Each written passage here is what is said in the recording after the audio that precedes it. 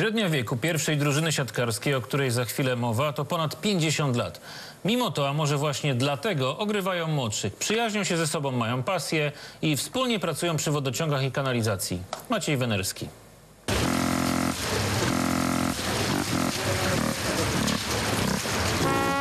Zwykli pracownicy łódzkiego zakładu wodociągów i kanalizacji. Jestem Andrzej, elektryk. Janusz Monter, konserwator. Sławek, monter konserwator. Krzysztof, y, kierowca, operator. Piotr, elektromonter. Maciek, monter konserwator sieci Wodkan.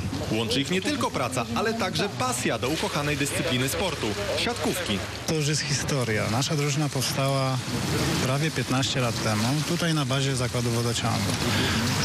Od, zaczęło się to od jednego, dwóch ludzi, którzy skrzykiwali później entuzjastów sportu. Podstawowy skład drużyny od początku nie zmienił się, tak jak nastawienie zawodników. Zabawa to po pierwsze. Poza tym nienaganna sylwetka, jak to widać po chłopakach, że brzuszków nie mają to dwa. A poza tym wynika to też z charakteru, że jednak jest to takie jakieś takie zacięcie i rywalizacja też, jak pan powiedział. Pracują także w soboty, kiedy rozgrywane są mecze, ale i na to znalazło się rozwiązanie.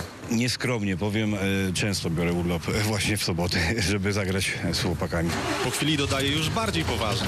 To jest nasza chyba pasja jakaś taka życiowa. No, ja tu nie wyobrażam sobie, żebym przegra- przestał grać w ogóle w siatkówkę. Co widać na boisku, gdzie dają z siebie wszystko. Mają to szczęście, że grają w najbardziej profesjonalnej ze wszystkich amatorskich lig w Polsce.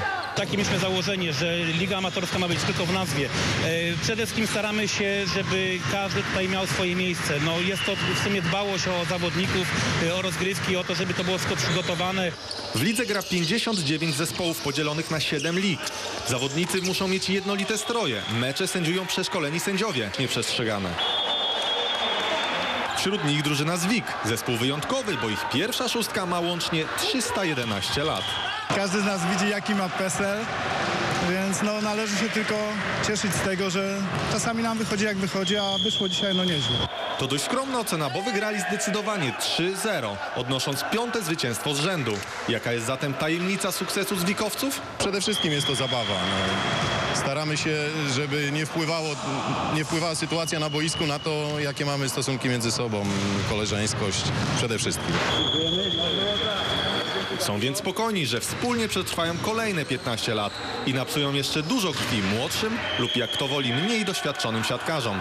Dla magazynu Polska Maciej Wenerski, Polsat News, Łódź.